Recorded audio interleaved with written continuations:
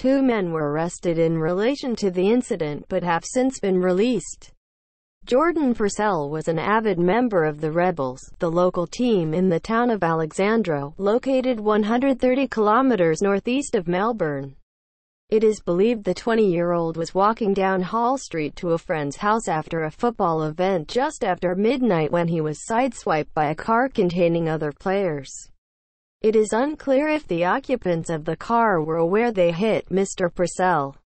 He was left on the road bleeding until he was found by a passerby who rang emergency services. When paramedics arrived he was already suffering life-threatening injuries and died while en route to hospital. A short time later, a 20-year-old Alexandra man presented himself to police. As a result of the information he provided, investigators arrested a 23-year-old man, also from Alexandra. He was taken to Alexandra Police Station. Both men have since been released and the 20-year-old is being treated as a witness.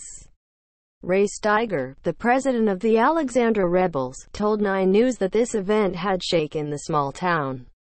Just that suddenness just rips you. He was showing great signs of progress and really looking with great excitement as far as the future was concerned, he said. This certainly will impact right through, not just our club, but the whole community.